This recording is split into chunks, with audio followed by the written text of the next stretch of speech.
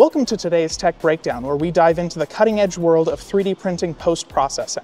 I'm Jeremy with MatterHackers, and today we're exploring the AMT PostPro SFX Vapor Smoothing System.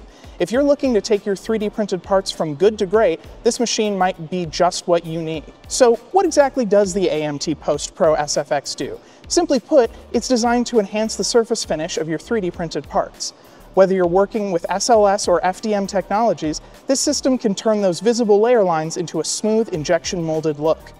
Let's talk about how it works. The SFX uses a proprietary vapor smoothing technology. During the process, your printed parts are exposed to a controlled vapor atmosphere. This vapor gently melts the outer surface, smoothing out imperfections and giving your parts a polished finish. The results are impressive. Not only do your parts look better, but they feel better too.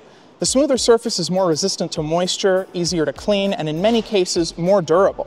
Now, you might be wondering, how does this integrate with existing systems like the Formlabs Fuse? Well, the AMT PostPro fits seamlessly into the post-processing workflow of the Fuse, which is renowned for its SLS printing capabilities. By incorporating the SFX into your workflow, you can achieve professional-grade surface finishes right from your SLS printer.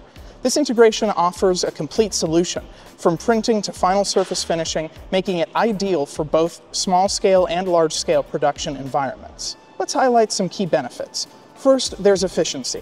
The SFX significantly reduces the time and labor involved in manual post-processing.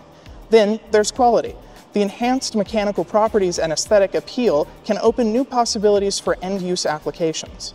In summary, the AMT PostPro SFX Vapor Smoothing System is a game changer for anyone serious about 3D printing.